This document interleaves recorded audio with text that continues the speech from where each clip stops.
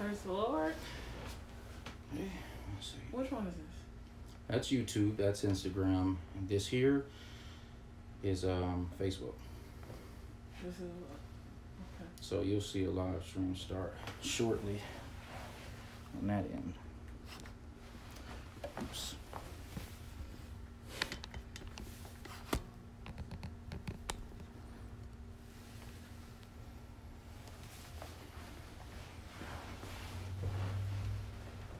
I'm trying to refresh the thing. Um, go to home or scroll down. You should start there. Yeah. Okay, now what you want to do is you want to go to the right bottom corner and hit expand. This one, right? No. This one. Yep. Okay. So you should see the comments populate over there. So, welcome everybody to another episode of Her head. His Body, where we discuss biblical marriage and give biblical marital, uh, marital counseling through a uh, word view and not a Worldview. praise the Lord.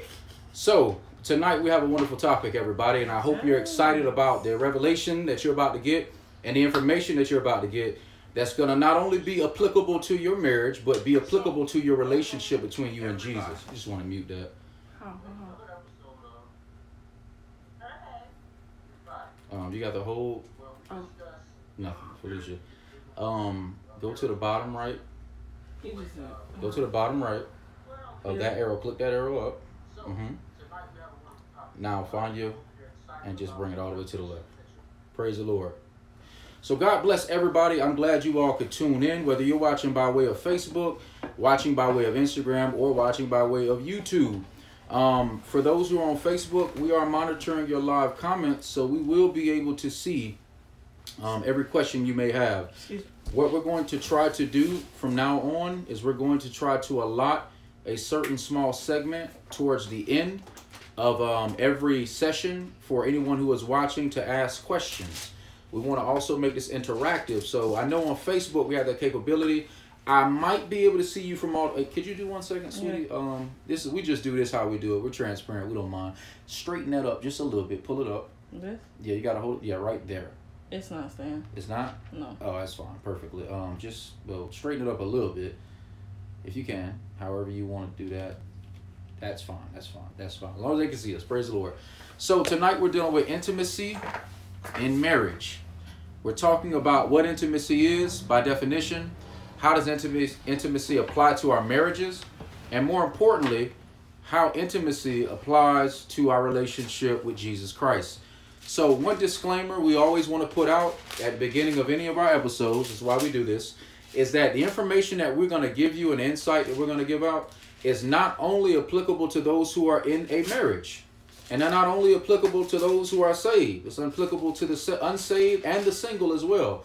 Because what we want to do is show you how, regardless whether you are in a marital relationship with another significant other human being, Right. more importantly, if you're pursuing Christ, you are in a relationship and a covenant with Him. And that is extremely important. So, the information that we give you today that's going to help you in your actual marriage is also going to help you in your personal relationship between you and God. Yes, Lord. So, I am Pastor Charles Russell, and this is Felicia. my beautiful wife, and you are now tuned into her head and his body. So, what we want to do, as always, before we get into it, is go before the throne and give God glory. So, my wife is going to lead us in prayer. Praise the Lord. Oh, thank you, Jesus. Thank Thank, you, Lord Jesus. Jesus. Thank you, God. Jesus. Thank you, your name, Lord Jesus. Jesus. Thank you for this moment, oh God. Thank you, Father you God. didn't have to wake us up this morning, but Oh, you God. did. Hallelujah, Father God, Jesus. I just thank you. I just Thank thank, you, you. I just thank you for Bless this your name, moment. Hallelujah. I bless you, oh, Oh, God. God. I We praise your name. you, we Lord praise your name, Move Heavenly mighty Father. way tonight, Move Lord in God. a mighty Bless way somebody's marriage, today. God. Hallelujah. Bring about God. restoration, Thank Lord you, God. Jesus. In the name of Jesus. In the name of Glory. Jesus, I pray, Amen. Amen, amen. I am so grateful. I'm I'm happy about this. Hallelujah. Praise the Lord. Praise the Lord. so what we're gonna do is first, before my wife gets into um, some scripture, about some things that the Lord has laid on her heart about intimacy in marriage from a biblical view and a word view, and of course, not a world view. Is uh, we're going to define intimacy.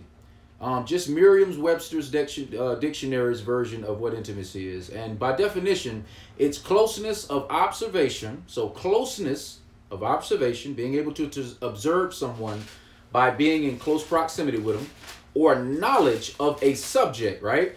A close association with or detailed knowledge or deep understanding of something or someone. An act or expression serving as a token of familiarity, affection, or sexual intercourse. So, intimacy from a worldview is usually slimmed down to sexual intercourse, right? right. But from a word view, what we're going to do is expand your understanding on what intimacy is. Because this topic has brought a lot of marriages down because a lack thereof, or an absence, if you will, or the wrong idea of intimacy. Some of us get into marriages based off false pretense, false yes, pretense. Lord. So when you look at this definition, it says a closeness of observation. That means I have to be in close proximity, right? Not for just the uh, idea of sexual intercourse, but communication. and through that closeness of observation, I gain knowledge of a subject or a person, and I have a close association and detailed knowledge and deeper understanding of that something or someone. Now, it can also be an act. Now, remember, for everything that we feel, like our mood and our uh, our feelings, I could be angry, I could be sad, I could be happy. There is also a way to express what I feel. So, intimacy is actually a noun, but there is a way that I can express my intimacy as well.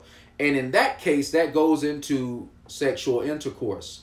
So what we want to deal with is intimacy is more than just sexual intercourse. It is. Say it again. Say it again. Intimacy is more than just sexual. Say it for the ones in the back.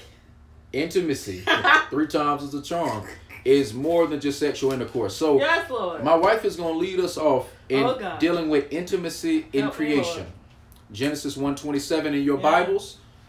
Yes, please turn to Genesis one twenty seven. You all bear with me. Y'all don't see me on here much. but right. God is good you. and God is going to use me today. Let the Lord I am stepping out. So God is good. All right. So Genesis 127 says, So God created man in his own image. and the image of God created he him. Basically, he created him. Man and female created he them. So uh, again, um, I wanted to come with the word from the word created.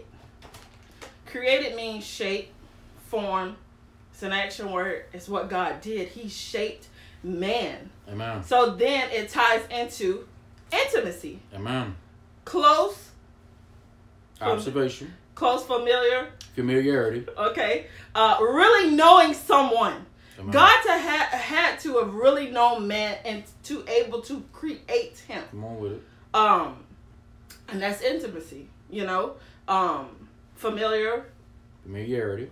Uh, means close acquaintance and knowledge of something. Amen. God knew man. God knew exactly what was going to do. God Amen. knew everything about man, and Thank that was intimacy. Glory. Pure intimacy. Glory. Just imagine how he formed uh, Adam. Think about the ears. Think about the eyes.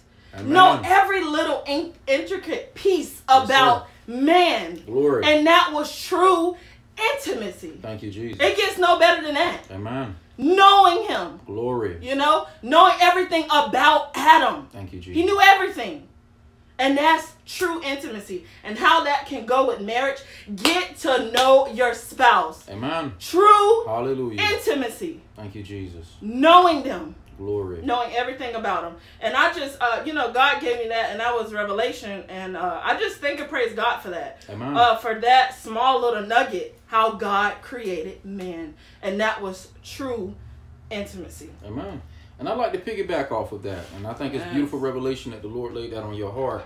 Intimacy in creation. Um, God had to get intimate with man to create man. And the beautiful thing about it is, Amen. there was never a time where God did not know man. Um, as we see what Jeremiah say, before your mother formed you in the womb, I knew you, right? So there's always this knowledge that God has had before mankind ever came into Praise existence. We were a thought in the mind of the Lord. And the beautiful thing about it is that God loved us so much that He created us because He wanted to be desired. God Right. didn't need to be desired. God was all fine by Himself. And I have a note here, Mhm. not to cut you off, go but. I say I believe it ties into having a desire, and that's for God. That. Intimacy relationship you have to have with God. You have to have a desire, Amen. a zeal, Amen. And You for the right things. and for the right um, things. again, yeah. like from a world view and not a word view, Right. we usually view intimacy as a release. Yeah. Um, getting engaged with someone in a physical or sexual manner, and that's all. And it's usually just for the pleasure, but it's not to know the person. We're going to deal with that later. Right. So, desire has a lot to do with intimacy. But some of our desires are ungodly. Some of our desires are motivated wholeheartedly and solely by a physical need to have a release or a sexual Yeah. release, if you will. And that really troubles a lot of relationships right. because it's very rare you get two partners that are both equally sexually active.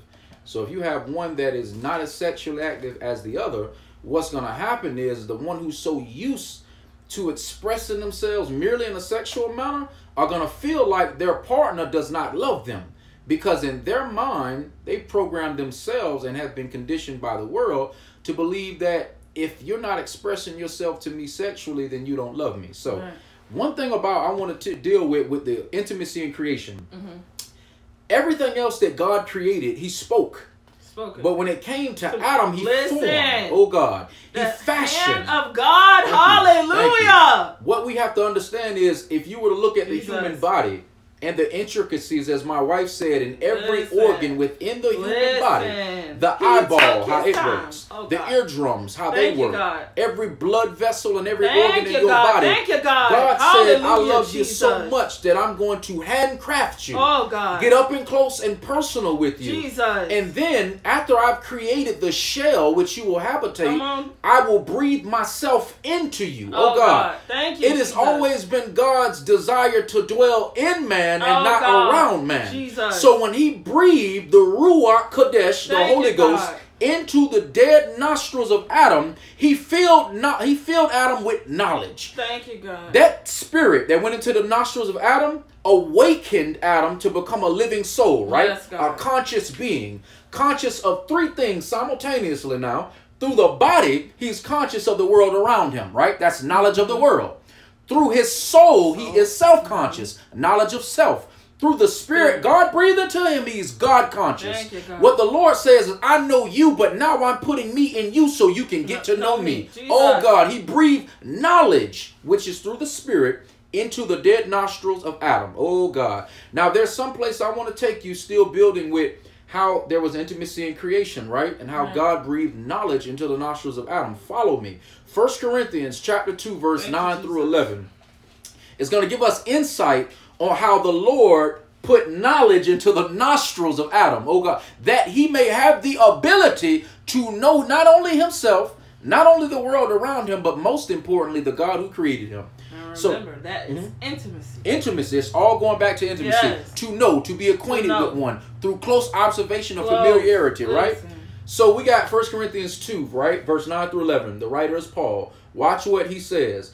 But as it is written, this is an Old Testament reference I have not seen, nor ear heard, neither have entered into the heart of men the things which God hath prepared for them that love him. Meaning, man is bereft of the knowledge of the things which God hath prepared for them that love him. But that identification of man that don't have that knowledge is talking about men who don't got the Holy Ghost. So Right. verse 10 shows us that that knowledge is only absent to those who lack the spirit of God. Remember I said that God breathed knowledge into the nostrils of Adam? This is how we prove it scripturally. Verse 10 says, "But God mm-hmm. hath revealed them unto who? Us, Jesus. the saints, by what? His spirit."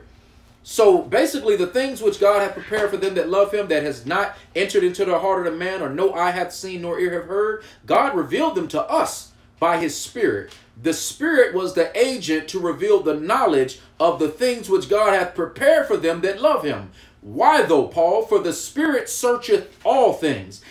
The Spirit searcheth. Follow me now. Intimacy is close observation, right? Yes. familiarity to get to know one on a deeper level.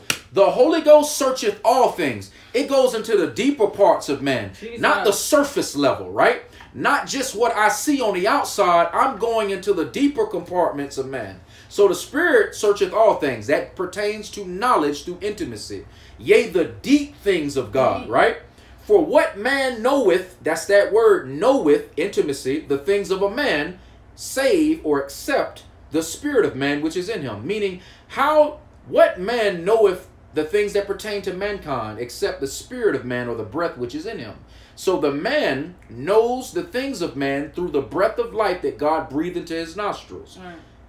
Even so, meaning just as a man can know the things of a man through the breath in him, so the things of God knoweth no man but the Spirit of God. So how can we know God without the Holy Ghost? It's impossible. Mm-hmm. So when God breathed into the nostrils of Adam, he breathed knowledge into Adam's nostrils. Knowledge that man may know not only who created him, meaning knowing who God is, but knowing what God desires. It, it brings up that scripture. I don't. I can't quote it all the way, but um, some about um, if you don't have the spirit, you're none of His. Romans 8 and 9. Any And man that does not have the Spirit, of Christ God is none of his. So then it goes. It takes me to uh um.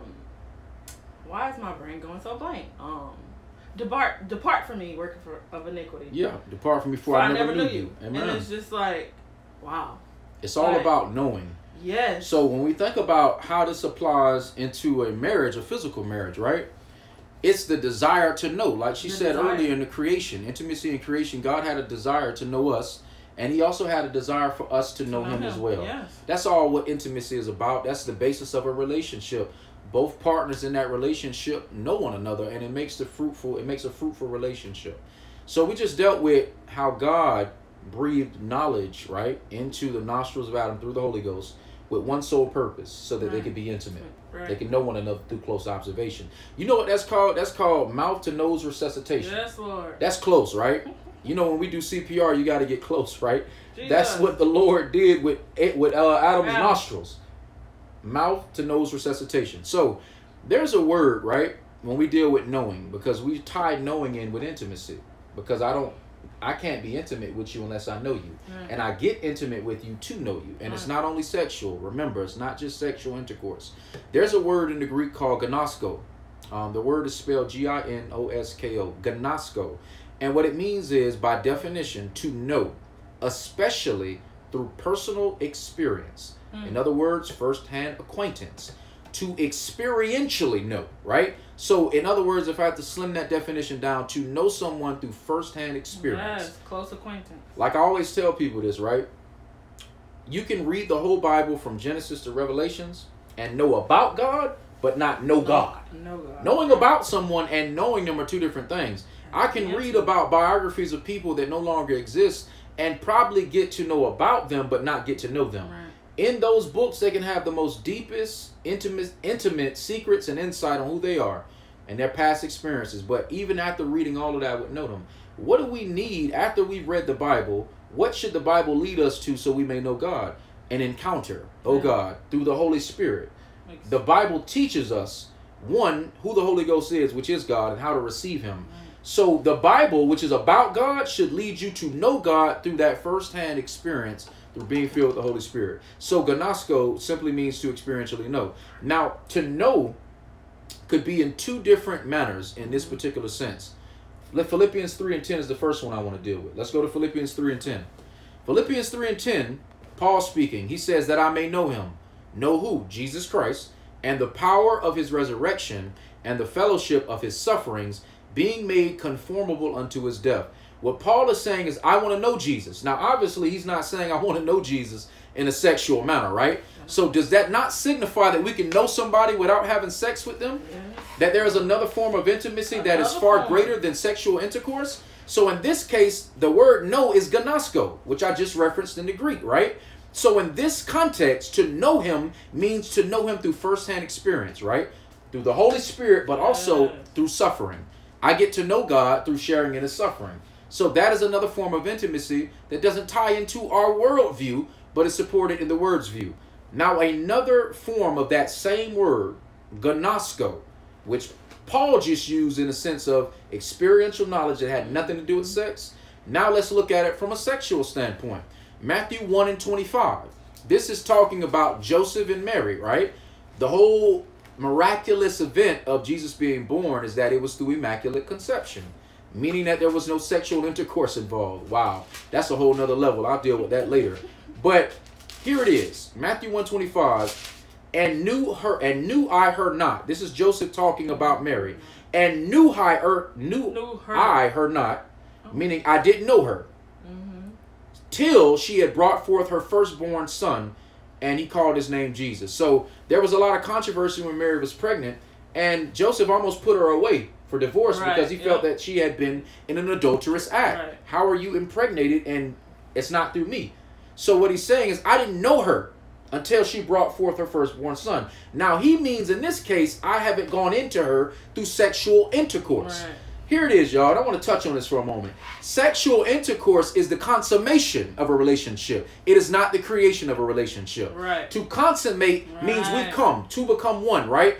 Through sexual intercourse. That is the sealing of what we led up to through intimacy, through talking and communication. Communication and consummation. Communication leads to consummation. Through communication, I get to know you, you get to know me through us getting to know one another in a spiritual, emotional, and intellectual manner will now be completed in a sexual manner. But here's how the world do it. They jump right into sexual intercourse, right? Consummation in a sexual manner. Now let's get to know one another Yeah. intellectually. But you just you have just made a covenant with that person who you don't even know. Not through I do in marriage, but when you have sex, that's a covenant.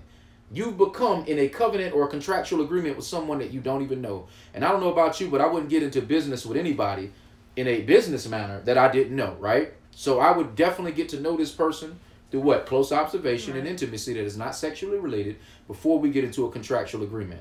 So that's to know through experience. Do you have anything you want to add to that? Or you want to touch on anything? No, on that one. I think it's your next slide. Okay. So one thing God revealed to me, still dealing with knowing, in a sense of marriage, knowing your partner, right? Even before you all get married. That's important. Yes, it is. Knowing one another before you even engage in marriage, right? Because again, that's a contractual agreement. But how can I please a stranger? That's the topic I want to deal with, y'all. Jesus. How can I please a stranger? It's impossible. Simple. Because everything I do going into my attempt to please that stranger is going to be based off of how I please somebody else. Oh God, we're going to deal with it now. Let's go to Luke 10, verse 38 through 42.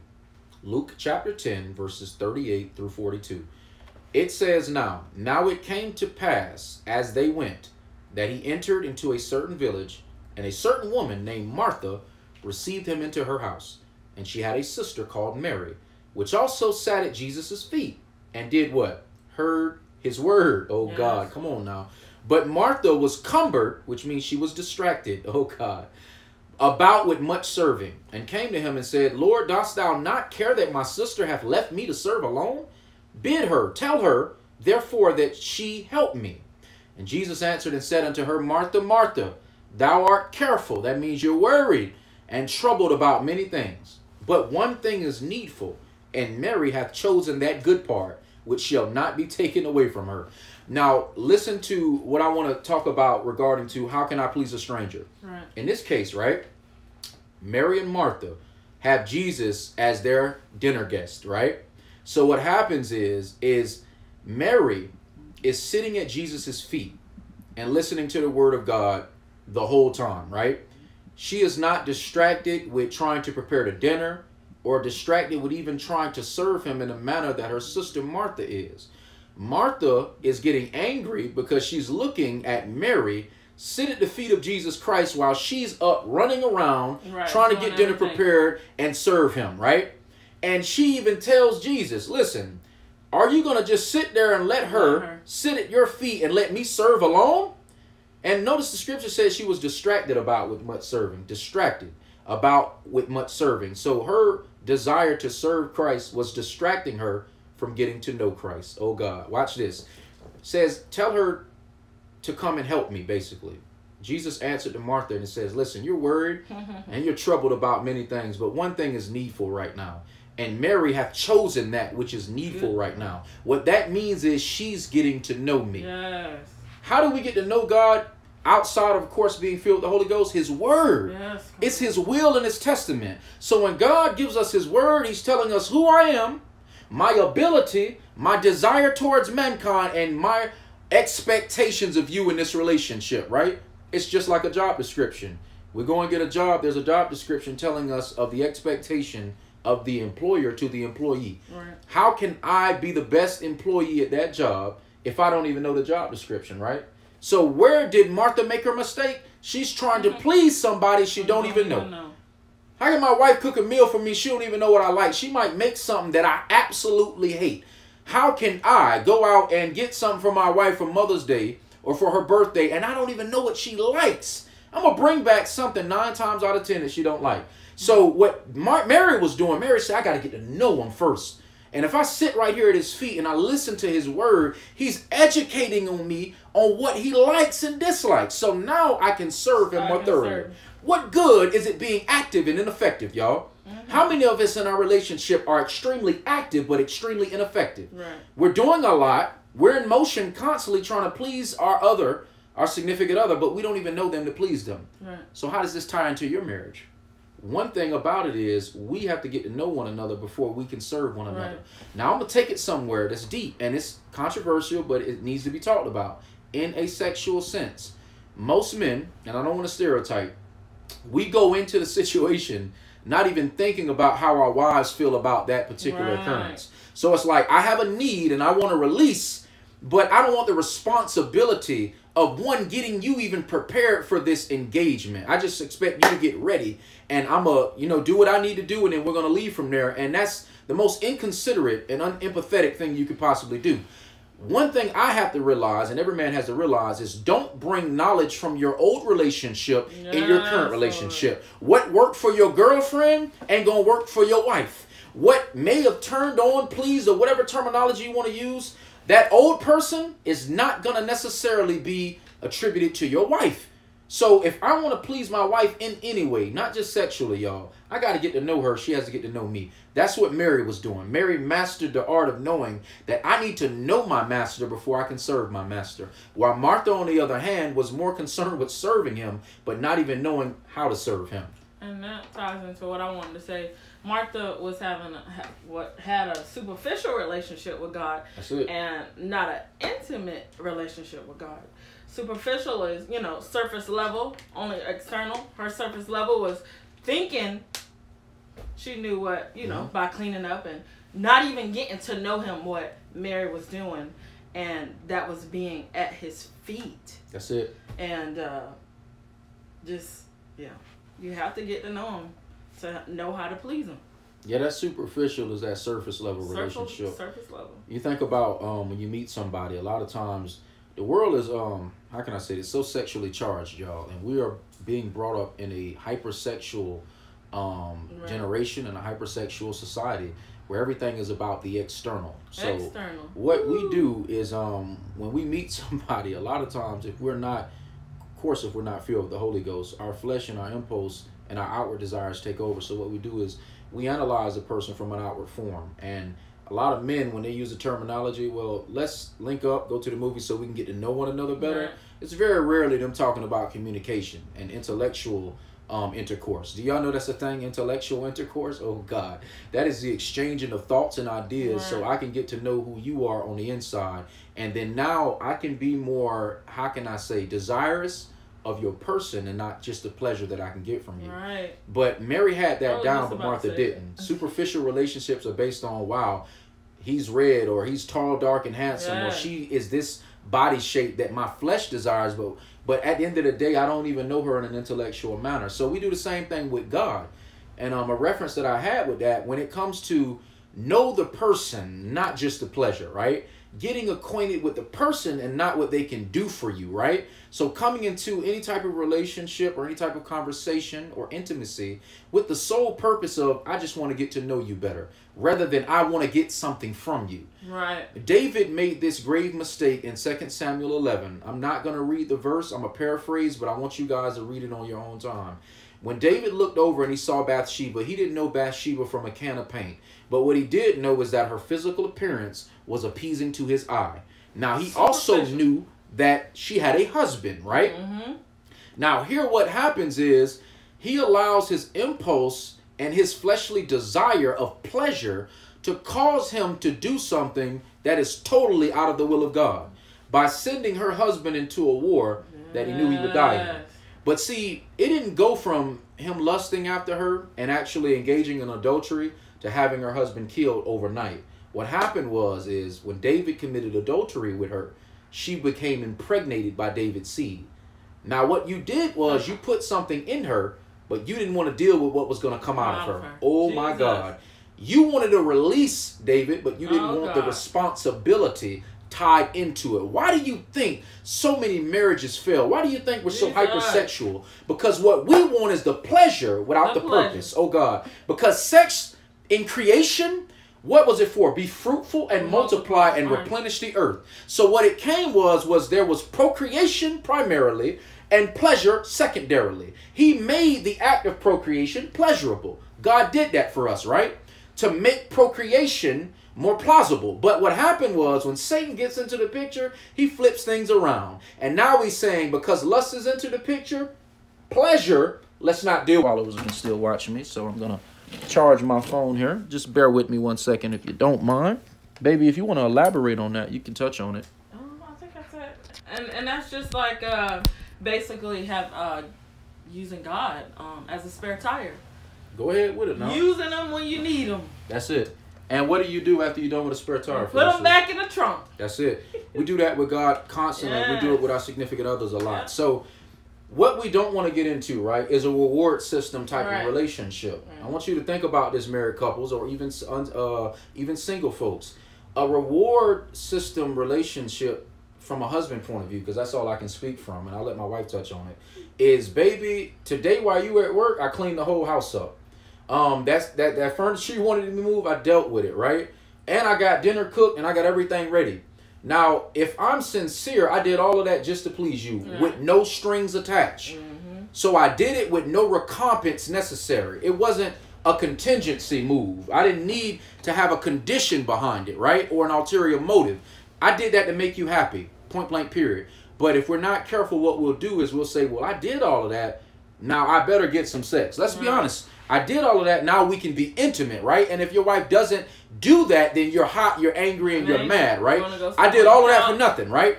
But you should have never done it if you just did it with an ulterior motive to receive something sexual, right? So what we do is, if we're not careful, and I'm gonna say it blatant as possible, we turn our wives into harlots. We treat our wives like prostitutes because what is the def what is the definition of prostitution? Well, there's a woman who's willing to sell her body for a particular price. There's a man who's willing to sell his integrity for a particular price. He wants something, she wants something. He wants a release, she needs finances. So they come to a mutual agreement and they do something that God has ordained to be only for marriage and only for procreation, and they go against the will of God. They compromise on their morals because she needs money and he needs a release. Mm.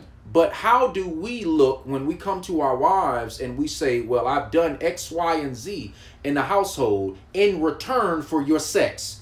You have now prostituted your wife. Jesus. You've turned her into a harlot. Now, remember, we said everything we talk about in the physical sense for our physical marriage applies to God, right? Well, let's look at Matthew chapter 15, verse 8 through 9. Matthew 15, 8 through 9 is Jesus speaking to the hypocritical Pharisees and the Jews, right? He says, This people draweth nigh unto me Mhm. with their mouth But and honoreth me yes, with their lips, but their heart is far from me. Far. Watch this. But in vain do they worship me, Jesus. teaching for the doctrines, the commandments of men. Now, what that means in a spiritual sense, but how it also applies to us is this. In Jesus' context, he's saying a quote from Isaiah. He's saying, You all, you draw near to me with your mouth. You give me lip service. I love you. Mhm. I'll serve you. I'll worship you. Sundays. Right? Exactly. Sundays. That's mouth worship, right? And you honor me with your lips. You tell people that I'm your God. You serve me no matter what. But with your heart, which is the most precious part of you, which is what I want. The most intimate place in a man or a woman is their heart. That's so far from me. So right here with your mouth, but you're light years away from me with your heart. What makes you think I want your mouth? I want your heart. Yeah. Because from out of the abundance of the heart, Heart, the, the mouth, mouth speaketh. So if I'm in your heart, I naturally got your mouth. See, I want to be intimate with you, not on a superficial level. I don't just want a piece of your body, which is your lips. I want your soul. That's the heart of you, right? So a lot of times what we do with God, like this passage, we come into his presence, we clap, we sing, we praise, and we think we can rub Jesus like a genie to get mm-hmm. something out of him, right? We did not come into worship with the sole purpose of lifting God up and magnifying his name and serving him. No, we came with the sole purpose that if I Uh-huh. say this and I go through the motions, right? I'm not even engaged in the activity of worship. I just feel like if I do this, X, Y, and Z, in a robotic manner, in a formulaic manner, you'll give me something. So I will pay my tithes religiously. I will be at every Sunday service, right? I will do what I think pleases you according to your word, but my heart is not engaged in the activity. Why do you think, and I'm going to be honest with you, baby, from a woman's standpoint, why do you think that there are so many relationships where sex is a problem? It's because the lack of intimacy intellectually. It's because now we're doing it on a schedule. Yeah. This is just because, well, one party usually is like, well, I don't really want to do it, but all right, to please you, I'm going to do it, right? And you're not engaged in it. Let's be honest. We're all adults. That is not a pleasurable experience. When one party is only doing it to go through the motions and the other party can't even enjoy it now because it's like, I know your heart's not involved in it. You're giving me your body right now to get me out of your face, but your heart's not engaged into it. So, how would that look with God, though? Right. you come to me and you're going through the service, you know, the order of services, but your heart is in the parking lot. Your heart Mhm. is at home about to watch your favorite TV show. Your heart is where we're going to eat later. It's not in the here and the now. Like, how does that look from a woman's perspective when you know your husband is only there and his heart ain't involved?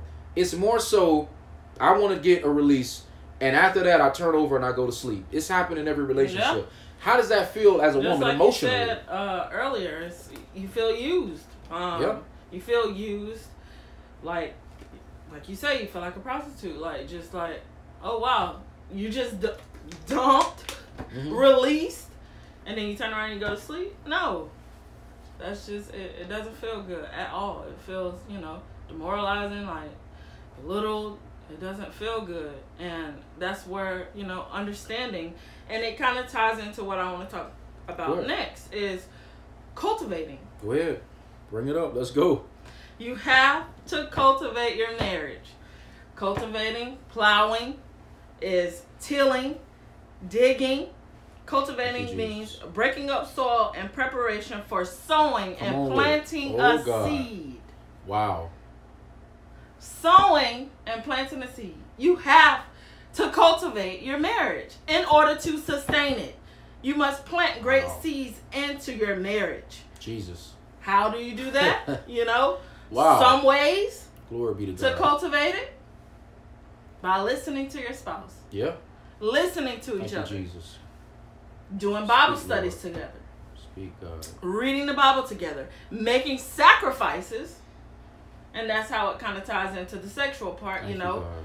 This is the way if you, you know, you wouldn't feel used if you do cultivate your marriage. Yeah. You know, if you know what the words say, you wouldn't feel like that. Honestly, you know, let's be honest, let's be true. real. Um, and you know, doing activities together. Amen. Cultivate your marriage. It's not like you said. It's not all about sexual. Amen. It's not all about sex. It's not all about sex. No, definitely. Let's go walk on the beach. Amen. Let's go have a picnic. Getting to know each other, cultivating that marriage, stirring it up, Yes. plowing it, Yes. so you can plant great seeds. Come on with it now. Oh, God. Planting positive things, cultivating, Glory. So your spouse Thank you, God. can uproot, Thank you, grow, Jesus. Thank you, Lord. Wow. so your spouse God. can grow Thank you, Jesus. and bloom and blossom into a great flower. Come on with it. Both parties will be satisfied. Thank you, Jesus. Both parties will be illuminating with light. God. Thank you, Lord. Listen, and the source Jesus. comes from light. Listen, Thank you, that's Lord. God. You know, I definitely can. I, I feel the power of God right now. Because, in essence, what you're saying and what the scriptures are saying, but we're about to reference here in a Right. second, cultivation is preparation. Preparation. You can tie those two Yeah. words in together synonymously, right? hmm How many of us want to sow the seed without any preparation? Listen, Matthew 13, we seen they that don't, they don't have time for that. exactly. It's impulsivity. We see that in Matthew 13, the parable of the sower. The success of that seed growing was based on what soil it was in, right? Right. So we know that it fell on the make the wayside. That means it fell on packed soil. Couldn't even get into the soil. Right. Birds snatched it up. That's up. leading somewhere else. Got it. Fell in stony ground. Listen. Couldn't get deep enough in the soil. The sun came out. It withered away. How many of our marriages look like the seed that fell in rocky soil? Right. The rocks crowd out growth. hmm Most important part of that plant is the roots. It anchors Then- itself. Right. That makes me think.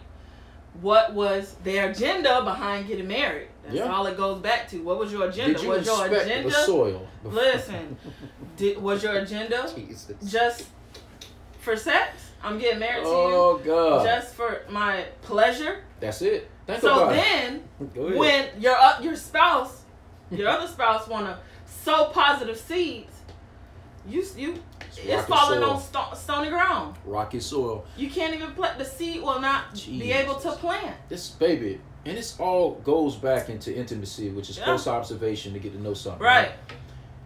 I would be a fool not to inspect my soil before I planted my seed, That's right? true. Oh God, how many of us have planted our seed in cursed soil, Mm. and we did not understand that the rocks that was in that soil, that rocks could have been you not knowing her. That rocks could have been she's been hurt in the past. She's been raped in the past. Right. Uh, you may not know that. Now you wonder why there's a, a problem with intimacy. You didn't even bother to get to know your significant other. That something could have happened in our childhood, something could have happened earlier, You have where to it turned her off completely from sex. That's the part of cultivation. You don't know her. Cultivate preparation, Ob- observation, preparation, and cultivation go hand in hand.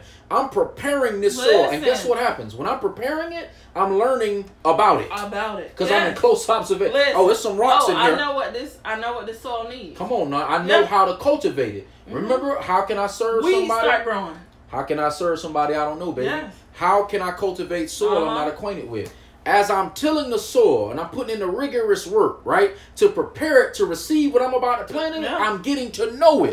There's thorns there. That's Yes. going to prevent growth. Rocks there. Weeds, That's going to prevent tear, growth. I got to get all of that up out of there Out, out. Yes. before I invest in this time. Now, that leads right into the passage in Isaiah 5, right? Yes. Isaiah chapter 5, verse One through 1 six. through 6 is what we're going to deal with now. We're going to look at observation.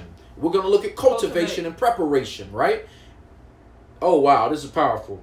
So you have observation, cultivation, and Cultivation, preparation go hand in hand. Mm. But what about insemination? Oh, God. Insemination is the impregnation. Oh, Yes. God. When the seed is found. But what do we? We jump right into insemination. Jesus. And what we didn't do is observation and cultivation. Listen. And then, oh Or God, preparation. or preparation. Listen, it's in wasn't tied together. Wasn't prepared. so Isaiah 5, verse 1 through 6 Thank you, Jesus. is the Most High God. Yahweh is basically laying out a analogy talking about the house of Israel, but he's addressing them as a vineyard, right? So watch what he says. Now will I sing to my well beloved a song of my beloved touching or considering his vineyard. yes. My well beloved hath a vineyard in a very fruitful hill. The hill was fruitful, and he fenced it. Oh, he sectioned it off. Mm-hmm. When you fence something, that's not only for protection, but it shows ownership. This is my soil. Oh God. That's why when we put these Yes. rings on these fingers, not just this gold ring, but I mean the act of Garden. going through a covenant. My- this is mine. She's mine and I'm hers. I got papers on her. She got papers on me. Okay? So at the end of the day, he fenced it in. After he mm-hmm. found a plot of land that was fruitful. Listen. The land was fruitful. He- He, fenced it. Jesus. I, this is mine and I'm to protect, Protect. it, right? Yes. And watch what he did. The Here head. comes the cultivation Jesus. And gathered out the stones thereof. Oh God. He didn't just plant no seed. He's upkeeping it, Charles. First thing he did was he laid his eyes on a plot of land. Yeah. He said, okay, that's going to be my land. I'm going to fence it first. Mm-hmm. Now what I'm going to do is I'm going to start to cultivate it. Because I want to plant something in this Uh-huh. land. I didn't just get this land to Mm. drive by it and say it's beautiful. I want to plant something here. So I'm going to gather out that which is going to prohibit growth. These stones got to go, right? Mm-hmm. That's time. I'm getting to know the soil now, right? Because I'm cultivating it, right? So observation, cultivation, and planted it. You see the order? He fenced it, Right. gathered it, then planted. That's the insemination. with the choicest vine. Y'all know that's the best of the best. He planted this soil with the blessed, the best of the best. He didn't plant it with the secondary type of grapes. He put the best in there, right? Say that one more time. Choicest vine means the best vine, so the Mm. best seed, if you will. Before that. Before Oh, it says planted. that he gathered the stones out Right. first. Because I'm not going to plant seed Right. amongst stones. Mhm. Get the stones out the soil, right? That's the cultivation. It's prepping the soil for the seed to be sown. That's insemination. It kind of put me into where say save yourself, you know, for marriage. hmm It's just like you get to know the person, you do, then you get married, Yeah. then There's an order. you sow that seed. You know, I would say order of operations. Yes. Well, there's an order of consummation, and you get to know through Yes. observation. Yes. Then you lead into the insemination of planting seed. And I'm not using seed only in a sexual manner. No. Anything I invest in you Yes, is seed. right. Anything you invest in me words. seed. And I want to see fruit bore Yes. from that investment, right? But watch what the Lord says. He says, I planted it with the best of the best. Now I'm going to do something to show you that I'm attentive to your needs. I built a tower in the midst of it. Yes. The tower is so I can see the enemy coming from a Uh-huh. long way. I Look at it. It's oversight. Yes. That's why they call him a bishop of our souls. That tower is for oversight That's over what. I've invested in, That's right? the head. Exactly, the oversight. And also made a wine press therein. Oh, hold up, God, you're really invest because you know a vineyard produces grapes, Yes. right? But there's something in that grape that's a lot Mhm. more valuable than the grape Jesus. itself. It's the wine. But you got to be pressed to get the best. Oh, God, you hear me? You got to be pressed to get the best. So what it is is he said I put a wine press in too because I want to squeeze something out of you that's more valuable than you yourself. Watch this. And he looked, he desired Right. that it should bring forth grapes. But hold up, it brought forth wild Wild grapes. Bushum in the Hebrew means stinking or worthless fruit. Yeah. I did all of this investing, and I and you can't say it wasn't because I didn't cultivate. Mm. You can't say take what I had granted on you and take advantage of it. So when we look at this, I only brought this up basically to show, and I'm not even gonna go down the six Right, no yeah. point, just to show the cultivation. Right. There's a scripture that says, "What is man that thou art mindful of him, and that thou visitest him? Who are we that you're that attentive to our needs, that you will put all of that work into us?" But he shows us how to properly get the fruit we're looking for by cultivating the soil first. That's why I referenced that scripture. He got to know us through cultivating us, hmm and then he inseminated us with his spirit. That's the beautiful thing about it. That kind of go hand in hand with a, a, a marriage where one party is doing everything and the other party isn't. Yeah, exactly.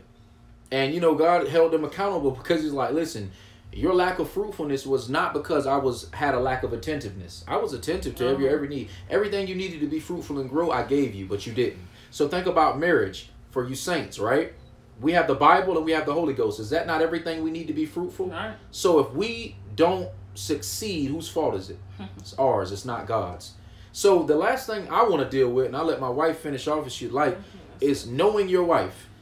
Now the Bible says in 1 Peter 3, verse 7 through one mm-hmm. it says that well actually 1 Peter 3 and 7, should I say. 1 Peter chapter 3, verse 7. Likewise, ye husbands, dwell with them, that's your wives, according to knowledge, giving honor unto the wife as unto the weaker vessel, and as being heirs together, of the grace of life, that your prayers be not hindered. What this is saying is husbands, dwell with your wife according to knowledge. Remember that word ginosko means through experiential first-hand knowledge to get acquainted with her. So if I dwell with her or live with her acquainted to knowledge or according to knowledge, then I know my wife, so therefore I can dwell with her. How can I dwell with her successfully if I don't know her? So if I know, as the next part says, giving honor unto the wife as unto the weaker vessel. Sweetie, where what part of the body was the wife taken from? Drew. The rib. And that's a part of the body, right? Not a mm-hmm. part of the head. Right. So Ephesians tells us that the man is the head and the woman's the body. Mm-hmm. Where's the brain? Where's the brain located In the at? head. In the head. Where's the heart located at? The body. In the body, right? And the rib is close to the heart. Women are feelers. Let's just be honest. I don't want to sound chauvinistic, but women are emotionally driven. A lot of mm-hmm. men are logically driven. That is not a universal statement because there's some men that aren't logical, right? Yeah. But primarily the head makes the decisions. That is God's natural order for the man to be logical and doctrinally sound. But my wife being emotional and me being logical don't contradict one another. What they do is they complement one another. There's a times when my logic is going to work in a counseling session or in a witnessing to another person's soul. And there's some time where the emotional um, aspect is going to work. And I have to be able to work with my wife. But how can I do that if I don't know her? Right.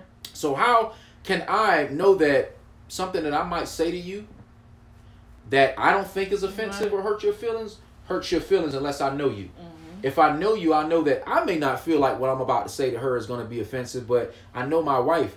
She's emotional, right? In that sense, she's the weaker vessel, not in the sense of uh, priority or importance in God's eyes. Because what does it say? That we are heirs together of the grace That's was about to say. right? Yeah.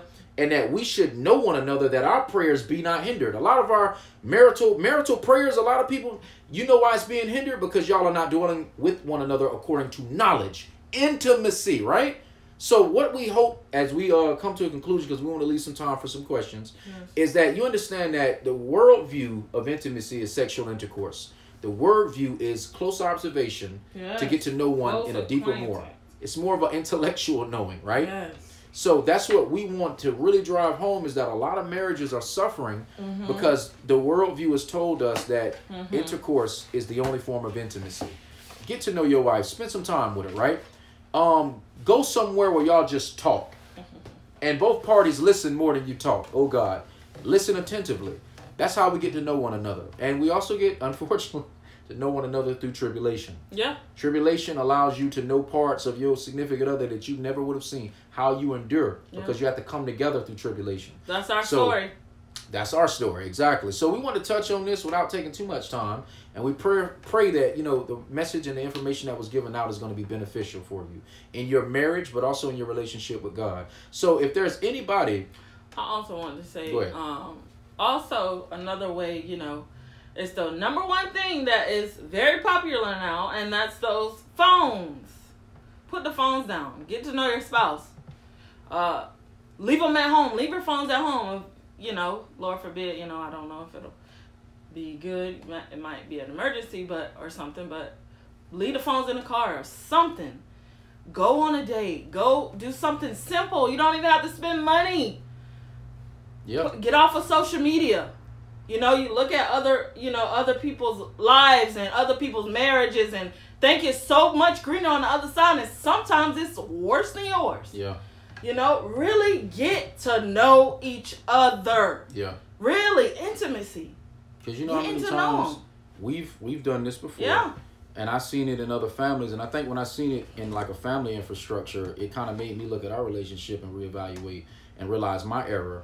Going out to eat these days, Yeah. right? You see a family of maybe five, right? sitting at the table everybody got a everybody phone. on the phone You might Jesus. as well be in segregated uh, capsules or cubicles yeah because all that phone does is put up a wall. And what what you're saying is that I enjoy the company of people that are not even in my presence more than Yeah. the people who are right here. We've done that. It's like Mhm. I'm on my phone, she on her phone. Like what? Put the phones what down the world come to talk to one another get to know one another. My, me and my wife we've been married for quite some time and there's still some things that we don't know about one another which is why as time progresses we're moving more into that intellectual intercourse. Let's take time away from just making it sexual and physical. Let's really talk. Tell me about your childhood. Yeah. i want to know your favorite color. I want to know your likes and your dislikes. That way How in many- my marital role i can be more successful. Yeah, how many marriages can say they know what um their their spouse went through when they was a kid? yeah We just blot out that that childhood, but the childhood has a very it plays a very big role on your adulthood. yeah we Very start big role. we start right from the moment we met Mhm. them and that's it That's it. And remember what we said on the last one? Whoever you marry Right. at that time, whoever they That's- are, that's, that's who who you married. that's who oh, it is. God. That means you married their trauma. You hear me? You've married their depression. You've married their inhibitions. You married their fears, right? You married their debt even. So at the end of the day, whoever you marry, that's who you're marrying at that point in time. Whoever they are as a person, that's who you married. You're not marrying uh, who you want them to be. You're marrying who they are now. So that's why it's important you get Yeah. to know them Get before know you marry them. So if there's any questions before we wrap it up, we got a few minutes. That anybody that's on Facebook or even Instagram that's watching, you have any questions about maybe something that we talked about tonight, or you have a topic that you might like us to touch on Yes. next Tuesday, if God permits, we would love to do that. And um, if not, of course, you can always DM me or my wife through Facebook, through Instagram, or you know, send an email through cries and wild, cries in the wild at gmail.com. Uh, we're doing this, of course, to um, just provide some counsel from a Yeah. our personal perspective tied into the scriptures. That's it. Give some marriages hope because there's two. The divorce rate, even amongst It's Christians, is crazy. Mhm. It, it, it is really out of whack how many saved couples are finding themselves in divorce. They want to uh, shove things under the rug and You got to deal with them. and make everybody think it's sweet. It's not sweet. No, it's not at all. It's a lot of Marriage is not bubblegum, lollipops, always sunny. It's No, it's not. It's a lot of work. You have to cultivate your marriage. Exactly. Get out there and sweat. That's it. And what we need to do is um we need to just get a little bit more time spent with one another. We got to get back to spending intimate time. Um, time is not just being in the same room hmm because how many of us know how it feels to be maybe like this far from one another, but feel like she's in a whole nother galaxy and you're in a whole nother galaxy. So men and women, let's not only be presently active, but let's be present in our purpose. Right. what good is it for my body to be here, but my mind is somewhere My else? is so else. that's that's pretty much it for tonight. Yes. We Um, have like two a minute. We have like two minutes left. If anybody has anybody any have any questions, questions? comments, anything you'd like Give to us add, something to talk about you next. guys can talk to us. We like to interact. You want to sing a song, Charles? Um, Sing no, all. alright. I'm not much of a Sing 'em singer. I'm not much of a singer. It don't matter. You can, you can create he a being um, shy. you can create an introduction song for us if Yeah, you like. y'all help us out with an introduction song. If anybody what, got any ideas, what did I say earlier? for, um, no, don't, no, don't what did repeat I that. I don't even remember because I don't want to remember. If you got a jingle that you want to share for our uh, new little episode that we're doing, her head, his body, uh, we would love to hear it. Okay, um, that's what I was saying. Submit it. His head. No, it's not body. his head. It's, I mean, her body, his head. Her body, his head. Her body. we like to have fun, y'all. Yes, definitely me. I. He was the what is called introvert, Introvert, yeah, and I was the for those who know me, they know that I can be extroverted when I need to be. I'm a jokester, but you got to get to know me first. See, that goes right that's back into go. intimacy. Oh God, oh God! I have somebody says, "What's the role of the head in the body?" Well, the role of the head is to protect, provide, Mhm. give guidance, and lead. Right, and the body is to be a help that is meat or beneficial for So- the head. In biblical sense, if you're coming from Ephesians five, Paul says that husbands love your wives as Christ loved the, as Christ loved the church and gave Himself for it, and in wives submit unto your husbands as unto the Lord in everything. That's Ephesians 5. Paul spoke about that pertaining to the marital roles. So I got to love my wife like Christ loved the church. Oh yeah. That means even when she gets on my nerves, even when she rebels, I got to love her. My love cannot be conditional or hinged upon her submission. Because Christ's love to the church was he's not not hinged upon gonna, its he's not gonna get up there in front of God and say, "Well, Lord, I she didn't. ain't listening," Exactly. or "Lord." And my wife's obligation, marital role, is to submit to me in all things as if she was submitting unto God. Oh God, oh God, oh God. That's another topic, We're going to y'all. deal with that one Instagram, heavy. that's another topic. Y'all But, just wait. Natasha, yes, I we see that have you had dealing something with, with- an unbelieving dealing with spouse. an unbelieving spouse. I got scripture for that in the New Testament, and what we'll do is prayerfully in uh upcoming episode we're gonna deal with dealing with an unbelieving spouse. There's scripture to uh tell you on how to navigate that kind of situation, and that is a reality for a lot of people. Yeah. And um, we'll definitely deal with that, sister. We'll be more than happy. That is a wonderful topic. Thank I appreciate you, bringing that up. Auntie. Auntie, praise God. But um, we're coming down to our last minute on Instagram, and I Anybody know else? it's gonna shut off on them. It's gonna shut off on them. On Instagram. So I want to make sure that we pray out before Instagram get cut out. All right, I'm, praying. I'm gonna pray. Father God, in the name of Jesus Christ, Lord God, we thank you but- for the you, word Jesus. that came Thank forth you, today, God. Lord, as we Hallelujah. navigate this perilous world, we need your word to be the lamp unto our feet and the light unto the path. Lord God. Hallelujah. Father God, we know that Hallelujah. Satan hates marriages because it Hallelujah. personifies the unity between Hallelujah. you and mankind, Lord God. God. We know that marriages are the very image of who you you, are. Jesus. So, Father God, protect and fortify the breach Hallelujah, areas in every right message, now, Lord God. God. As gap. restoration is Hallelujah. Laid forth, gap, Lord God. God, to build forth the walls of marriage again, Lord God. Hallelujah. Lord God, give them the ability to have a mind to work, Lord God, you, to God. close up the areas that the enemy will try you, to infiltrate, to come together in Jesus. prayer, Lord God, to operate, Lord, in unison and not you, confusion. God. That when the enemy tries to divide and conquer, Lord God, be that glue that joins us together, Yes, Lord God. God. Let us go into spiritual warfare as one body and one mind, Lord God. Let us have like-minded passion, Lord God. Let us God. be with one accord in all that we do. Thank you, Father God, I ask that you bless the marriages, Lord. Hallelujah, Lord God, I ask that you call life out of dead Jesus. Marriages, Lord God. Hallelujah, marriages that seem that they have been dead, Lord. I ask that you call life forth from it.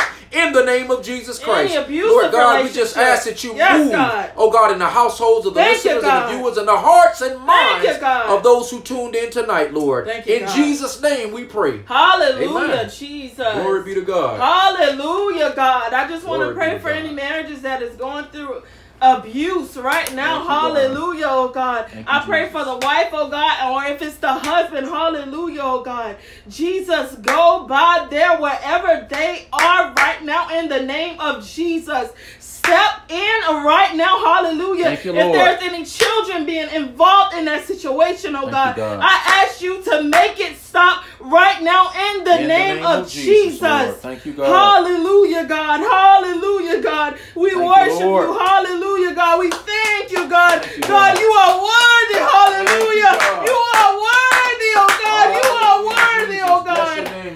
Jesus. Bless we want to pray Lord. for the single people. Hallelujah. Glory. Oh God, they shall wait. Right now, Lord Hallelujah, God, oh God. patience, the Lord man Jesus. will find you, women. The man will find you, women. But God, the Hallelujah. counsel, in Jesus' name. Hallelujah, God. Thank you, God. You're awesome, oh God. Hallelujah. And let us all, oh God, have a better intimate relationship with you. Hallelujah. Let us all, married or not, let us all have Oh, that zeal, God. oh God, oh, draw to chase to you, after Lord you. God. Let us steal Hallelujah, oh God. God. While there is still you breath in our lungs. Lord God. Hallelujah, In oh the God. name of Jesus, you are Lord God, worthy. we come against any Thank you, God. Thank you, God. that is trying to segregate these marriages, Yes, Lord God. God. Any spirit of confusion Jesus. In the households Thank of you, the God. listeners, Lord. you, I call you out in the name In of Jesus. name of and I plead the blood of Jesus. Hallelujah, Right now in the name of Jesus. Thank you, God. Any dividing Hallelujah. and segregating spirit, Jesus, we stand Jesus. against you right now by the power Spirit of of the blood of the Lamb.